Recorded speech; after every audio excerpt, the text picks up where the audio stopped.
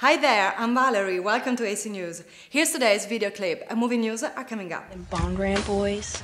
My daddy says you boys are the worst thing ever to hit Franklin. Tell your daddy I said hi. Seems you've been involved in certain illegal activities. Here's a new special deputy. I'm the one who's going to make your life real difficult from now on if you don't toe the line, country boy. I'm a Bondurant. We don't lay down for nobody. We are survivors. We control the fear. Without the fear, we are all as good as dead. This is a war they're waging. You ain't gonna survive.